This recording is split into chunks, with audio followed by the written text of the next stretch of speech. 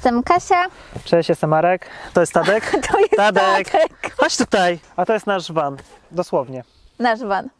Pomysł e, wybudowania samochodu i, i mieszkania w samochodzie urodził się we wrześniu 2019 roku i jak większość rzeczy w naszym życiu zadziało się to spontanicznie. To znaczy siedzieliśmy na kanapie po, po całym dniu pracy, ja przeglądając Instagram i nagle zobaczyłam jak ludzie żyją w samochodzie. I stwierdziłam, mówię do Arka wtedy, ej stary, chodź zrobimy coś takiego.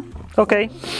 Tak, i To się, i, to się, i to się tak zadziało, że w sumie nie było nad tym jakiejś większej dyskusji, e, czy za, przeciw, było po prostu okej, robimy to. To był wrzesień, w połowie listopada już mieliśmy samochód, konkretnie ten. Dyskusję mieliśmy tylko i wyłącznie na temat tego, czy on ma być długi, czy krótki. Ja od samego początku chciałam mieć długi i wysoki, a Arek Krótki i niski, ale szybko zmieniłem zdanie, ponieważ sprawdziliśmy wersję naszego kumpla, który od kilku lat już sam podróżuje i ani niski, ani krótki, jeszcze dłuższy by się może przydał. znaleźliśmy ten samochód i, i pod koniec listopada już on był w naszym posiadaniu.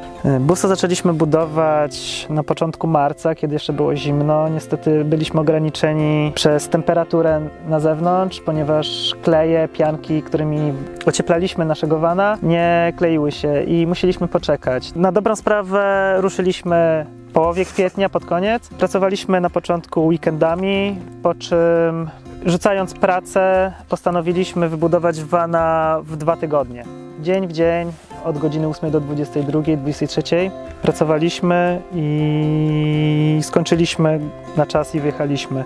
W sumie, reasumując, budowa wana zajęła nam jeden miesiąc. Brzmi jak marzenie, ale to był... To e, było prawda, serio. to- Od 8 do 23 codziennie.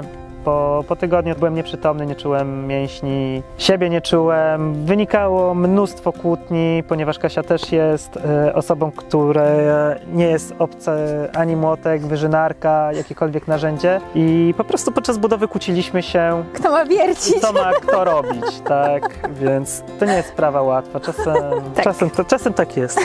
Ale wybudowaliśmy go w miesiąc. Za samochód zapłaciliśmy 15 tysięcy złotych. Wszystko związane z przebudową, z naprawami zamknęliśmy, myślę, w około 13. No. Nie podliczaliśmy tego 13-14 e, tysięcy. w ogóle, ale to jest coś takiego. Staraliśmy się zrobić go w miarę tanio, jakby też na nasze y, finanse, ale też nie oszczędzaliśmy na tym, bo wiedzieliśmy, że może się to po prostu obrócić przeciwko nam podczas podróży. Ja mam swoją firmę, która zajmuje się e, marketingiem online, więc stawiam reklamy, e, buduję strony internetowe, e, zajmuję się SEO, pozycjonowaniem, wszystkim, co się dzieje w internecie. Więc nieważne, czy robiłam to w domu z Warszawy, bo pracowałam najczęściej albo w domu, albo w kawiarni, więc nieważne, czy robiłam to w, w domu w Polsce, czy robię to tutaj z, z naszego busa, Ja jestem fotografem, ale od czasu wyjazdu miałem kilka projektów, więc można powiedzieć, że na tą chwilę żyję trochę z oszczędności. Pobyt tutaj pozwolił mi na znalezienie paru pomysłów, które jestem w trakcie realizacji.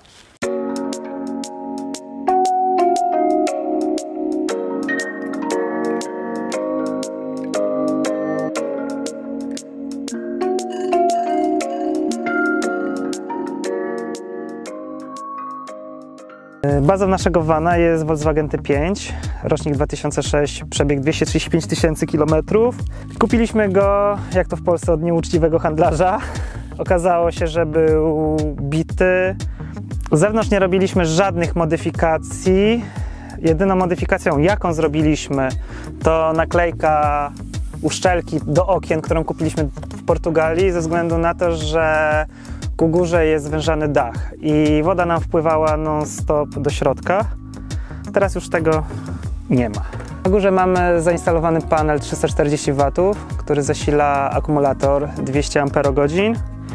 E, Do tego jest regulator Victrona 100 na 30 i uważam, że jest to optymalne rozwiązanie na nasze potrzeby. Obliczaliśmy to ile prądu potrzebujemy, ile jesteśmy w stanie wygenerować i na tą chwilę się nie przeliczyliśmy, ale mówimy tu tylko i wyłącznie o Portugalii i zobaczymy jak to będzie w innych krajach. Chcieliśmy, aby wyglądał z zewnątrz zupełnie normalnie, żeby nie wzbudzać żadnego podejrzenia. Nie ma żadnych kratek od trumy, czy ładowania, czy prądu. Jedyna kratka, jaka została, to po poprzednim właścicielu, ponieważ auto służyło do wykonywania robót na niemieckich autostradach. Teraz pokażę Wam nasz bagażnik. Co to jest? Tadek!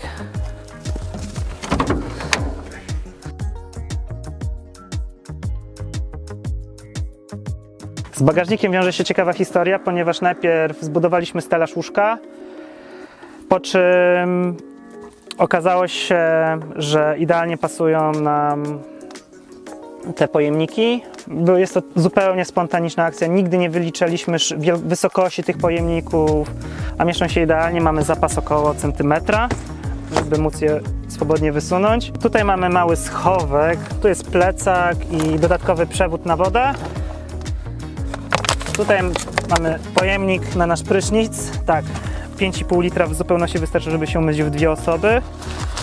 To jest druga część. Przez, przez wtyczkę 12 V podłączamy prysznic i w takie dni jak dzisiaj korzystamy z uroków brania prysznica na zewnątrz. Dodatkowo wkrętarka, bo zawsze coś jest do zrobienia w wanie, mata, no i przewód do napełniania zbiornika z wodą. Na ten moment nic byśmy w nim nie zmienili. No, jedynie byśmy mogli ocieplić drzwi, o których zapomnieliśmy podczas budowy, ale o tym możecie się przekonać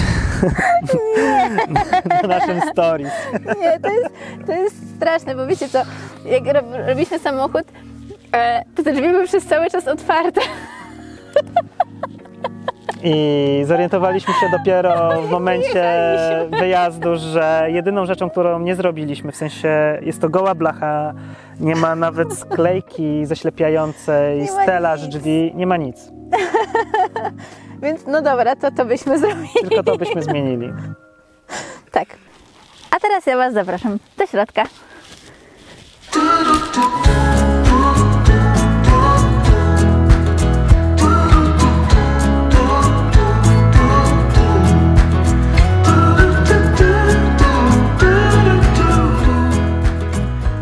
Zależało nam na tym, żeby było jak najbardziej po domowemu, więc mamy zwykły domowy zlew, zwykłą domową lodówkę. Tak, mamy lodówkę na 230. Mamy nawet tutaj zamrażalnik, natomiast nie, nie odpalamy go, bo nawet jak mieliśmy na minimalną, e, na minimalny stopień odpaloną lodówkę, to już mieliśmy tak chłodno, że musimy ją jednak troszeczkę przykręcać. Sprawdza się idealnie. Wszystkie meble i wszystko robiliśmy sami.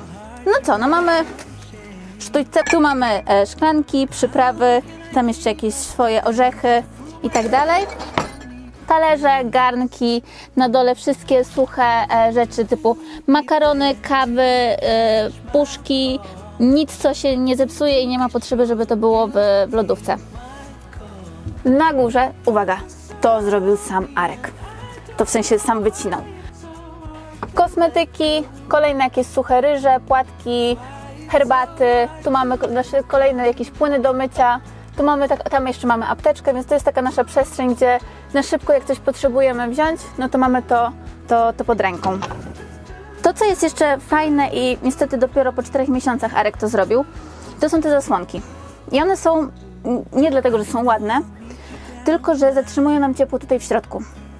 Więc e, jak nie mieliśmy tego i nie mieliśmy tego, wpadało nam zimno z, z przodu, z szoferki.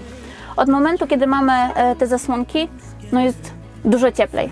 Niby taki szczegół i taka drobnostka, ale jednak nam to e, izoluje powietrze. Jeszcze tutaj mamy taki lifehack, uwaga, tu mamy wlew wody do zbiornika.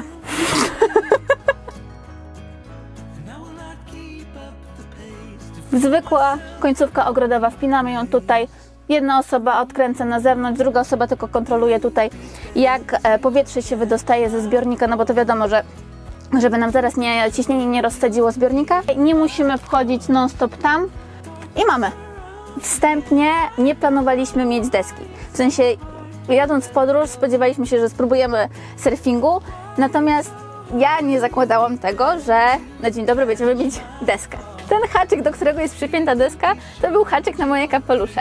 Natomiast miałam urodziny Jarek zrobił mi prezent urodzinowy I mamy deskę surfingową, naszą pierwszą. No jest to duże ułatwienie dla osób, które, które początkują mieć swoją własną deskę, nie, nie musieć wypożyczać co chwilę. Poza tym kupiliśmy ją na portugalskim OLX-ie, gdzie te deski są też tańsze, w razie czego polecamy takie, takie rozwiązanie. Z tyłu mamy tak, uwaga, to ja czytam na wielu forach w ogóle, że kibel turystyczny nie jest potrzebny. Serio? Słuchajcie, to jest w ogóle najlepsza opcja. Nie musisz, leje deszcz, nie musisz wychodzić, żeby zrobić dwóje do lasu, moknąć, kopać dołu i tak dalej. Wysuwasz sobie po prostu toaletę i masz. W sensie to jest część van life'u i, i uważam, że to był naprawdę nasz game changer. Mieć swoją własną toaletę to jest turbo wygodne. Jedziemy dalej. Tutaj mamy kolejny jakiś taki nasz schowek typu zgrzewki wody, piwka, e, latawiec mamy nawet nasz taki duży, więc nic, e, nic, nic kon konkretnego. Następna rzecz. To jest nasza szafa. Tak, to też dalej wycinał Arek. Tu mamy swoje ubrania. Jest duże, bo to jest odtąd, uwaga, tutaj do samego dołu. Bo tutaj mamy jakąś tam swoją pościel, ubrania, tu jest druga nasza e, część szafy. I uwaga, kolejny przypadek. Ta szafka otwiera się pomimo jak mamy łóżko rozłożone. Więc to jest wygodne, że możemy sobie w każdej chwili, nie musimy nawet składać łóżka, możemy w każdej chwili sobie wyciągnąć rzeczy. To nie było planowane. I tutaj mamy nasze całe, e, naszą całą, tak jakby ten system zasilania, akumulator, przetwornica, bezpieczniki, wszystko tutaj się znajduje. Nie wiem jak Wy, ale ja strasznie uwielbiam czytać książki w papierze. Mamy też Kindle, ale jednak papier to papier. Gdzieś na Instagramie znalazłam e, rozwiązanie z gumkami. One podczas jazdy nam nie wypadają, nic się, z tym nie, nic się z tym nie dzieje. Mamy książki, mamy gry, bo też uwielbiamy grać w, w planszówki, więc e, te rozwiązania też polecamy. Mamy jedną aktualizację. Słuchajcie, to jest w ogóle game changer, ja uważam. Przez to, że ja pracuję zdalnie, moja praca się opiera tylko i wyłącznie na komputerze, no to jak w takiej przestrzeni zrobić sobie biurko? I teraz uważajcie. Kupiliśmy ostatnio linki. Mamy stolik na buty. Tak, to jest w stolik na buty. My to używaliśmy jako e, podstawkę pod biurko. I teraz uwaga. Robimy tak. Robimy tak.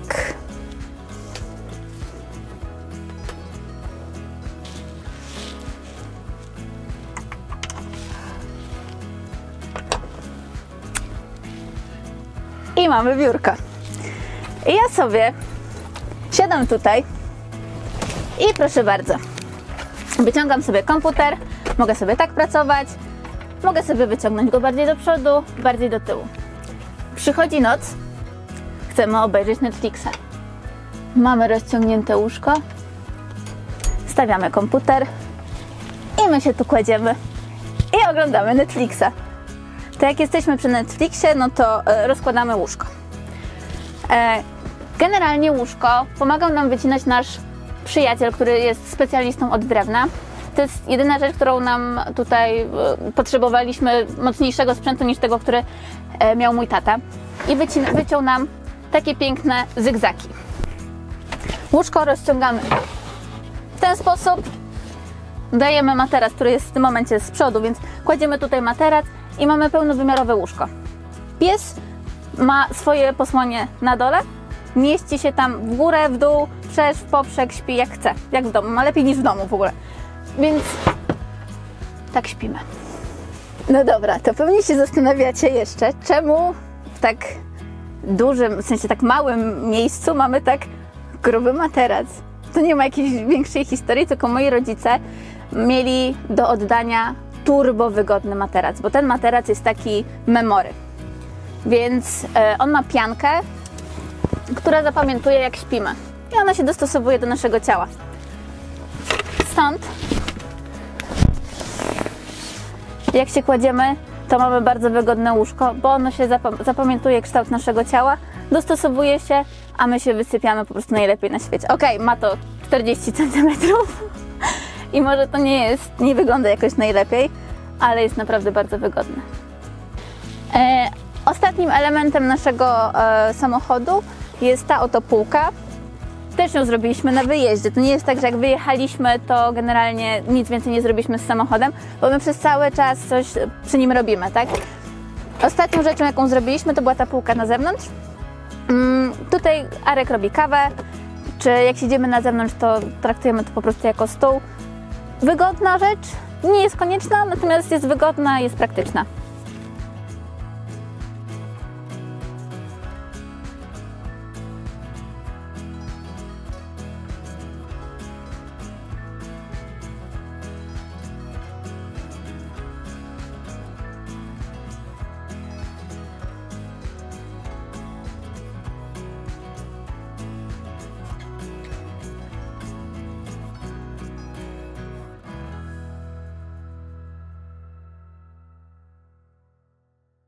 Van Life pozwoli mi spełnić jedno z moich największych e, marzeń, ponieważ przez wiele lat jeździłem na BMX-ie, ale królową sportów ekstremalnych dla mnie jest surfing i zawsze, ale to zawsze chciałem spróbować. Jest to chyba najwspanialszy sport, który pozwala poznać siebie i swoją granicę wytrzymałości i jak bardzo jesteśmy odważni na falach. A ja kocham wodę. W sensie od dziecka jestem w wodzie. Moi rodzice byli ratownikami wodnymi, więc w Pałacu Kultury ja jestem od dziecka. 12 lat trenowałam skoki do wody, więc woda i wszystko to, co związane z wodą nie jest mi obce. Więc jak Arek mi powiedział tylko o tym, że chce spróbować surfingu i jak przyjechaliśmy tutaj, to przepadłam. Surfing totalnie stał się e, naszą, naszą miłością i, i takim momentem dnia, kiedy zapominamy o wszystkim. I ja zapominam o pracy, Arek zapomina o pracy, zapominamy o tym, że nie wiem, zakupy musimy zrobić, czy że e, nie wiem, pies coś zjadł, cokolwiek. To jest moment, kiedy my po prostu żyjemy chwilą i, i cieszymy się z tego, że co mamy. Stał się też naszym kompasem życia, bo podróżujemy jakby pod, warun pod warunki, jakie są na oceanie i śledzimy wszystkie miejscówki i staramy się po prostu zwiedzać wszystkie miejscówki, które są na wybrzeżu portugalskim. Obecnie jesteśmy w okolicach Portokowo i myślę, że tu jest jeden z fajniejszych Warunków, jakich warunków na, jakich, na jakich pływaliśmy. Zawsze myślałem, że Van Life jest czymś łatwym, prostym. Realia są zupełnie inne i dzięki Van Life'owi tak naprawdę obcujemy codziennie z naturą. Zawsze marzyłem, żeby surfować, Van Life też, też mi to dał. A u mnie Van Life wniósł może trochę spokoju, ale spokój połączony z nutką adrenaliny, z takiej zabawy, bo z jednej strony muszę pamiętać o tym, że ja nie jestem na wakacjach i że to, że jesteśmy w pięknym otoczeniu nad oceanem, e, ja nie jestem na wakacjach, tylko ja też pracuję, więc e, taka trochę e, rygorystyczne, rygorystyczne podejście i takie trzymanie swoich e, ram, a z drugiej strony chęć takiej przygody i, i naprawdę takie czerpanie radości z tego, z tego, co robimy, bo to jest coś naprawdę fajnego, gdzie jak sobie zdajesz sprawę z tego, że spełniasz marzenie i że to nie jest tylko mówienie o tym, że spełniasz marzenie, ale faktycznie to robisz, czujesz się taki, nie wiem, spełniony, zadowolony, dumny i możliwe, o patrz, mam w ogóle gęsią skórkę, ale że opcja tego, że, że faktycznie to jest spełnienie marzeń i, i że to jest coś fajnego, coś w ogóle wyłamanie się trochę z, z jakichś tam kanonów e, e, życia, tak?